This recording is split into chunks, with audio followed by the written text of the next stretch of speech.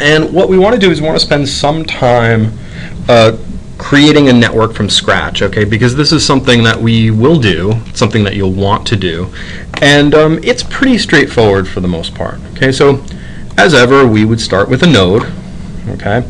And a node will represent uh, something that we want to model. So, if we were modeling something eh, like a social network, a node would represent a person, okay? And each one of these nodes, as you'll see, you can modify tons of properties for them. Okay, so I don't particularly like the yellow. I tend to like white, and I usually add sort of a, a second color there so that you know you can give it a little character. And if you just right click and go to properties, you can change all of the properties that you want. Okay, so if I wanted to, I could add text. Okay, if this represents a person, I could put that in there. Okay, but for now, we don't really need to worry about that. Okay, so each of these nodes we can modify. And once you have a node that's figured, configured the way you want to, you, you can just copy it and paste it. All right, we know we're going to need a bunch of these, so I'm going to paste a bunch of them. And as you can see, this works pretty much like any other application that, that you might want to use. Uh, okay, so let's start with um, connecting these different nodes. Okay, obviously we can make links. It's extremely easy to make links. In fact, if you just um, click on a node and start moving, you'll see it'll create them automatically. Now, by default, it will create connected links. Okay, um, pardon me, directed links. And when we talk about the properties of different nodes and links, we'll talk about two major types of links. They're directed and undirected. Okay, so for today, this these would be an example of directed links, right? Where this node is the source and this node is the target, right? Um, but you know, we, we may not really necessarily want it to be represented that way, so it's easy enough for us to just change it. Okay, and now that's an undirected edge or link. And we'll make this one undirected as well. And so networking is all about nodes and links. So basically all you need to do to work with this is just organize them the way you want. Okay, however, however that is. And you know, it's pretty basic. You can just grab the object you want and move it. Right? So it's really not so uh, complicated or difficult. Okay, so while we're here, let's introduce a little bit of vocabulary. When we talk about two dyads, okay, so when we talk about, let's say, these two dyads here, um, these two nodes here, we refer to this as a dyad. Okay, so two, two nodes uh, that have some relationship to each other are called dyads. Okay. If we add a third node here, right, so if I copy this and I paste this here, right, and I grab an edge type that I want, sort of pull it here, okay, these three nodes together are referred to as a triad. Okay, so any three nodes that are connected in some relationship are a triad this particular triad is an open triad, okay, because only two of the three are actually linked. Okay, and you'll see that uh, the relationship between open triads and closed triads is actually quite important.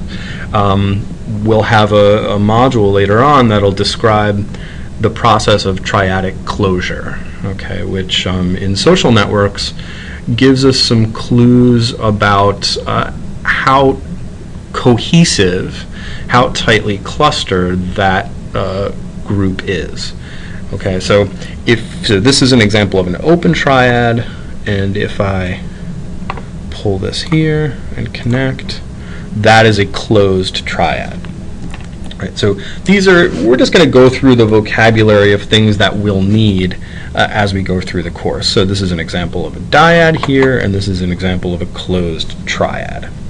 Okay. Uh, so let's just keep adding some links here to create some more structure. Um, as the networks get larger, we'll start to ask questions like this. how far is it from this node here to this node here? Okay, when we start to ask questions like that, we're asking questions about the path.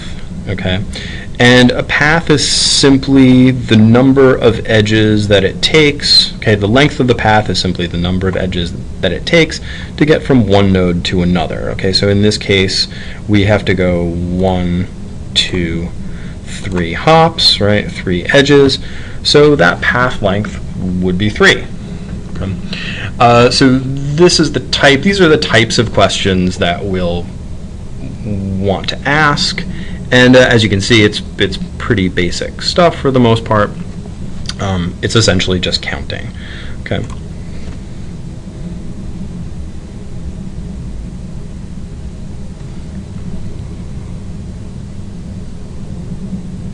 So once we have a structure like this, we can start to analyze certain aspects of this structure uh, that might be interesting to us. Okay, so one of the types of things that we want to see is which of these nodes is more crucial than the others. Okay, so for example, what are the consequences of us removing this node? Okay, um, if we remove this node, what other nodes will it affect? Okay, and the answer is really none. Okay, we'll lose this link, but the rest of the network structure will be left as is. Okay, so one way to think of this node is that this node really isn't very central. Uh, it's not quite as important as some of the other nodes in this network. Okay. On the other hand, if we remove this node, okay, all of a sudden we have a serious problem. We will no longer have a connected network. In terms of our graph, this node here okay, is what we would call a cut vertex. If we remove this node, okay, and I'll do it just for fun, okay, if I remove that node, we no longer have a connected network. Okay, we have a, a network that is disconnected. There's more than one component. Okay, this is a component, and this triad here is a component. Okay, so if we can, we'll want to undo that okay, and put that back. But this is an example of a cut vertex. The other question that we might want to ask is, what links are really crucial? Right. So, what happens if we remove, say, this link? Okay. Again, this link is what we would call a bridge. If we remove it, all of a sudden, again, we have two components. Right. We're back to our original dyad and triad. Okay, so that would be an example of a bridge. Okay, and we'll undo that so that we're connected again. So these are the types of things that we'll be talking about as we start to work with the software. And part of your job will be learning how to build networks and build small graphs with this software. I want to show you a few other tools before we uh, pack it up for the day. All right. If you go back to tools, okay, there are a few other things here that are worthwhile. One is analyze graph. Okay. Um, this is a pretty easy one, right? We built it by ourselves, okay, so it's not such a big deal. We know that there are five nodes, we know there are five edges. We know that there are no self loops, okay? Um, one thing to keep in mind is if I wanted to, I could do something like this. That's a self loop, okay? Um, there are some networks and some types of networks that will have this property, okay? So food webs tend to have this type of uh, construction. Um, but for a lot of the graphs we will build, we won't need these, okay? So we're going to get rid of this self loop.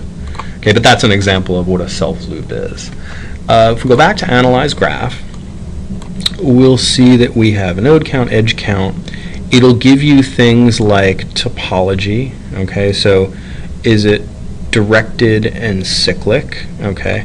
directed, a directed network would mean that these edges have directions, right? So they would have sort of an arrow with a source and a target on them, okay? But it's not true. This network is neither directed nor is it cyclic, okay? Um, so we don't have to really worry about that.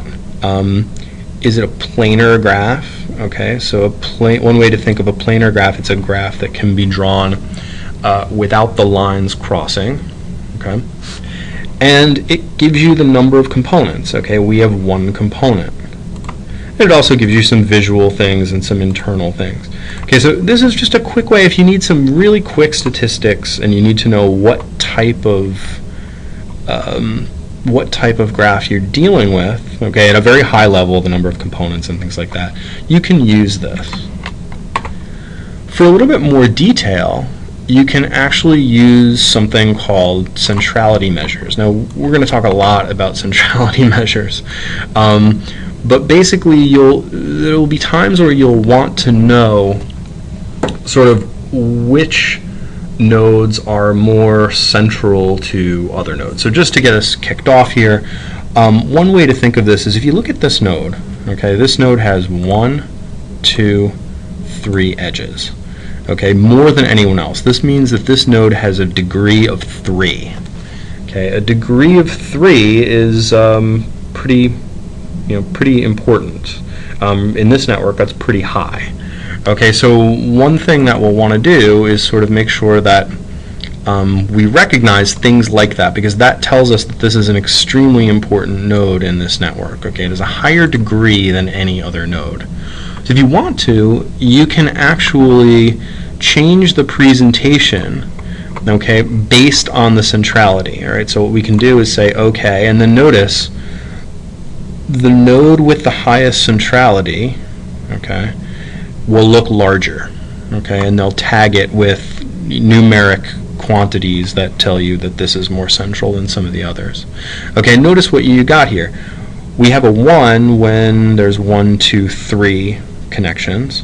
We have a 0.67 when there are two connections, and we have a 0.33 when there's one connection. Okay, and the sizes of the nodes themselves will actually reflect that.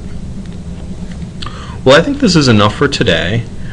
Um, we'll talk about some other things later. Okay, there are certain ways that you can save this and things like this, but this is really just to get you started with yEd and start to get you to think about the things that um, we will do in this class.